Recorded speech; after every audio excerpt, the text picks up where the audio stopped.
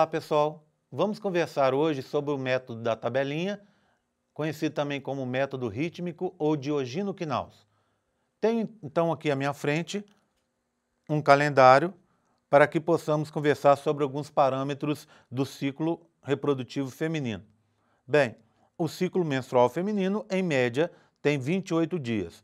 Portanto, se a menina menstruou no dia primeiro, o ciclo dela vai perdurar até o dia 28. Sendo que para esse ciclo médio de 28 dias, vejam bem, estou falando de ciclo médio, não de ciclos é, é, que podem estar ocorrendo com você aí que está me assistindo. Você pode ter ciclos menores ou maiores, mas na média da população nós temos uh, um total de 28 dias em cada ciclo menstrual. Bem, nesse ciclo médio, então, de 28 dias, o 14 dia é o dia da ovulação, ou conforme nós aprendemos em outro vídeo, o dia da ovocitação. Bem, esse é a, essa é a base para o método de, é, da tabelinha. Você sabendo o seu dia da ovocitação, ou tendo uma previsão do seu dia da ovocitação, você precisa saber que o seu gameta feminino vai durar mais um dia, ou seja, vai durar 24 horas, então perdurando até o 15º, 15 dia.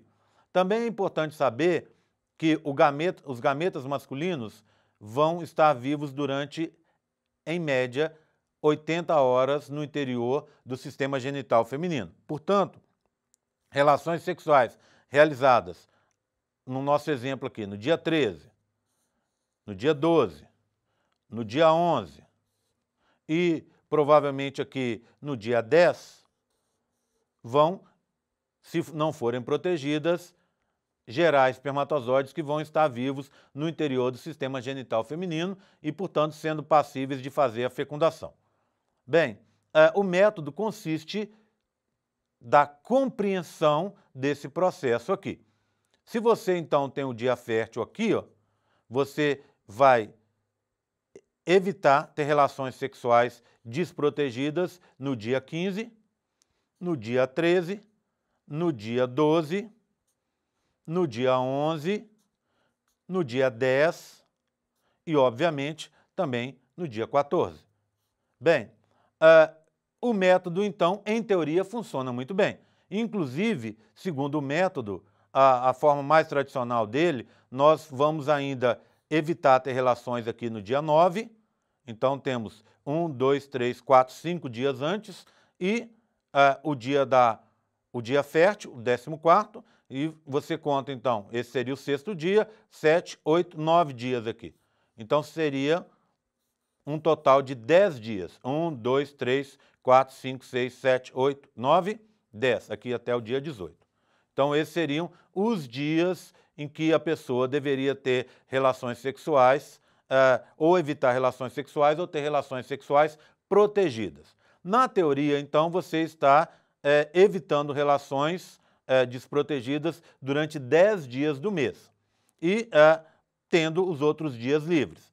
Para isso, você precisa, então, saber o seu dia da menstruação, saber o dia da sua próxima menstruação e aí ir calculando os seus dias do ciclo. Lembrando sempre que a parte final do ciclo, essas duas semanas que começam aqui e vão até o seu dia da ovocitação, essa parte final é fixa e, portanto, a partir da definição da data inicial de cada ciclo, você consegue, retirando 14 dias, definir aonde vai ser o seu dia fértil. Bem, em teoria, tudo bem. Na prática, o método da tabelinha é um desastre. Por quê? Porque o ciclo feminino se altera uh, de forma imprevista. O que, que pode causar a alteração do ciclo feminino? Por exemplo, alguma doença, um estresse, uh, uma mudança de endereço e, às vezes, razões que são difíceis de serem precisadas. E não é dado nenhum sinal para a menina que vai ocorrer essa alteração.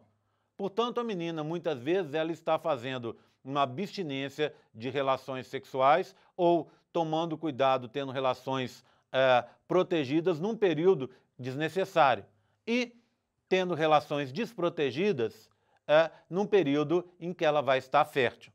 Por isso, o método de Ogino-Knaus, chamado também de método da tabelinha ou método rítmico, é um desastre.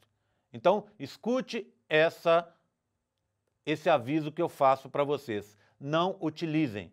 É desastroso e vai gerar, ah, em grande proporção das usuárias, gravidez indesejada. Bem, pessoal, era isso que eu gostaria de conversar com vocês hoje. Muito obrigado pela atenção e até a próxima.